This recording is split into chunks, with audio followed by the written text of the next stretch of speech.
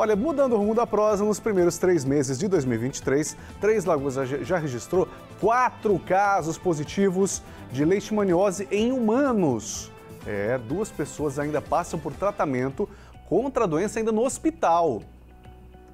O que é muito sério é que esse mosquitinho, ele é tão pequeno, ele é tão pequeno que mesmo que você coloque ali é aquela redinha de proteção na sua casa, ele é tão pequeno que ele passa pela redinha. O desgramado, ele, ele fura até a tua calça, a tua blusa, né? e pega o teu braço, a tua perna. É. Então, vamos cuidar do nosso quintal. Vamos recolher ali as fezes dos animais, porque é, é, o mosquito leishmaniose ele se prolifera em fezes de animais. A reportagem é da Beatriz Benedetti. Três Lagoas já registrou quatro casos positivos de leishmaniose em humanos neste ano. Foram dois casos em janeiro, um em fevereiro e um no mês de março. O último caso registrado é de uma mulher de 35 anos e que segue em tratamento contra a doença. A partir do momento em que o exame dá positivo para leishmaniose, a Secretaria Municipal de Saúde realiza algumas medidas para evitar o contágio e prevenir o aumento dos casos, como explica o coordenador do setor de endemias, Alcides Ferreira. Nós temos uma rotina de atendimento, então nós temos as regiões que são mais, é, que tem mais histórico já de casos humanos e, e, da presença do vetor, nós já fazemos um atendimento, nós já fazemos um trabalho de manejo ambiental, trabalho de borrifação, mas em cada caso humano a gente faz o que nós chamamos de bloqueio. É, o CCZ vai lá e coleta sangue dos animais para fazer o teste de leishmaniose, o serviço de entomologia coloca as armadilhas é, para ver a presença do vetor e nós fazemos a, a, o manejo ambiental e depois a borrifação residual num raio é, de 300 metros no entorno do caso, para tentar bloquear e eliminar o mosquito que esteja contaminado.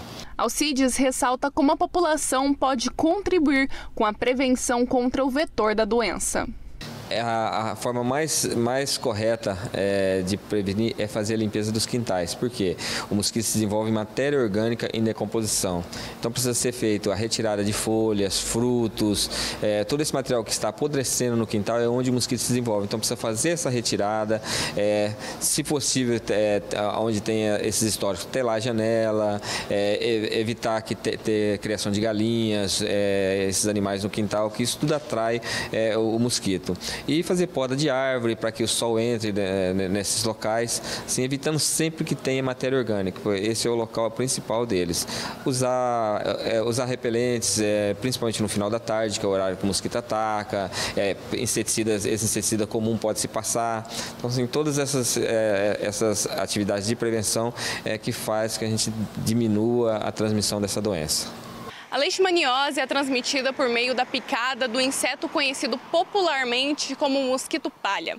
A transmissão ocorre quando as fêmeas infectadas picam cães ou outros animais infectados e depois picam um homem, transmitindo o protozoário causador da doença. Dados da Secretaria Municipal de Saúde apontam que em 2021, 13 pessoas contraíram leishmaniose visceral e duas pessoas morreram por conta da doença.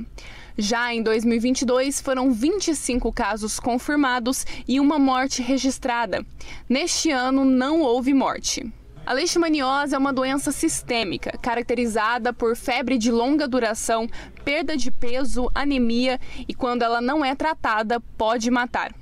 O diagnóstico precoce salva vidas. Por isso, caso sinta algum dos sintomas, é importante procurar a unidade de saúde mais próxima da sua casa, para que seja realizado o exame da doença.